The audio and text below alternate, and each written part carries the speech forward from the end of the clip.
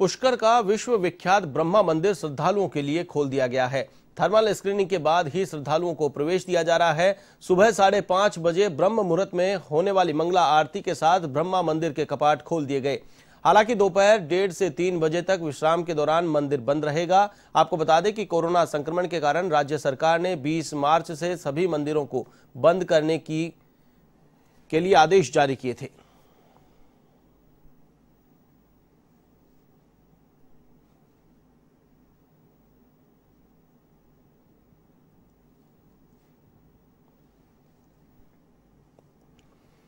आप अपने TV screen पर देख पा रहे हैं किस प्रकार से सोशल डिस्टेंसिंग के साथ लोग मंदिरों में प्रवेश कर रहे हैं। पुष्कर का ब्रह्मा मंदिर, जिसकी तस्वीरें आप अपने टीवी स्क्रीन पर देख पा रहे हैं।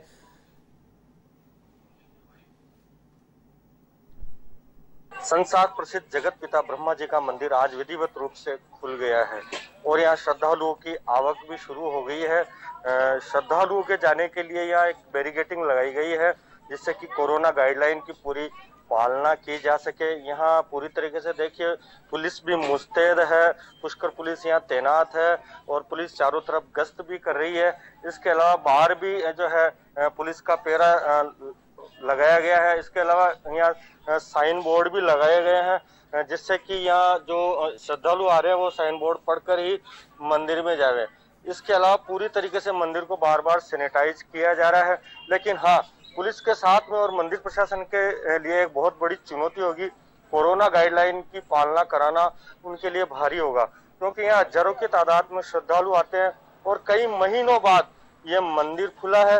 आप आप देख सकते हैं किस प्रकार से पुलिस यहाँ तैनात है और जो श्रद्धालु आ रहे हैं इधर से मैं कैमरामैन को कहूँगा श्रद्धालु जो आ रहे हैं वो दिखाए और किस किस प्रकार से सोशल डिस्टेंसिंग में श्रद्धालु यहाँ आ रहे हैं। आप कहाँ से आए हो भैया? एमपी से आए।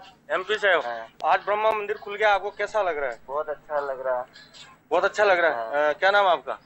लोकेश राजपूत। लोकेश। लोकेश राजपूत जो मध्य प्रदेश से यहाँ ब्रह्मा जी के आज दर्शन करने आए हैं उनको बहुत ही अच्छा लग रहा है। आप पूरी सोशल डिस्टेंसिंग में यहाँ ब्रह्मा मंदिर के दर्शन करने के लिए जा रहे हैं। एवन टीवी के लिए। पुष्कर से रिपोर्ट आपने देखी किस प्रकार से सोशल डिस्टेंसिंग की पालना की जा रही है। पुलिस ने व्यवस्था संभाल रखी है। लोगों को सामाजिक दूरी के साथ मंदिर में प्रवेश दिया जा रहा है। पूरा ख्याल रखा जा रहा है। इसी बीच धार्मिक स्थलों को खोल दिया गया है। इससे पहले श्रद्धालुओं की स्क्रीनिंग की जा रही है। थर्मल स्क्रीनिंग के बाद श्रद्धालुओं को मंदिर में प्रवेश दिया जा रहा है।